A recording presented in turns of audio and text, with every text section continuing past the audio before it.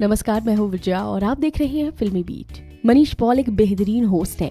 उनके होस्ट करने का स्टाइल ज़बरदस्त है।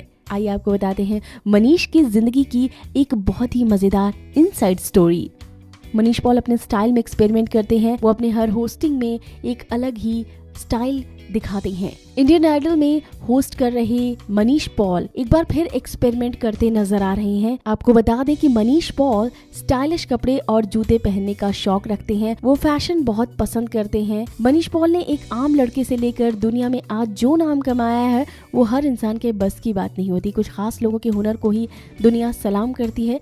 कुछ साल पहले मनीष पॉल एक अवार्ड फ़ंक्शन होस्ट कर रहे थे। वहाँ उन्होंने भरी महफिल में इस बात का खुलासा किया कि वो अपने जन्मदिन पर बॉलीवुड के शहनशाह अमिताभ बच्चन के पैर छूने जाते हैं और उनका आशीर्वाद लेते हैं। मनीष के अनुसार वो अमित जी से एक खास जुड़ाव महसूस किया करते हैं, जिस कारण वो ऐसा करते हैं।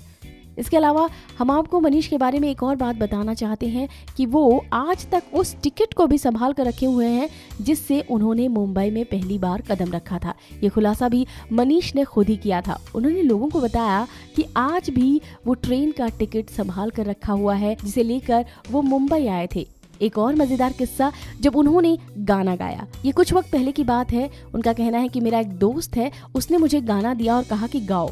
मनीष ने उसे गा दिया। फिर उनका कहना था कि मैं एक पार्टी में सलमान सर के साथ बैठा हुआ था। बातों बातों में मनीष ने उन्हें वो गाना सुनाया। उन्हें वो गाना बहुत अच्छा लगा। उन्होंने कहा कि ऐसा करो कि तुम इसका सिंगल बना लो। उनका कहना था कि वहाँ पर यूलिया जी भी मौजूद थी। मनीष किस्सा बताते हैं कि उसके बाद मुझे सलमान सर के साथ दबंग टूर पर जाना था।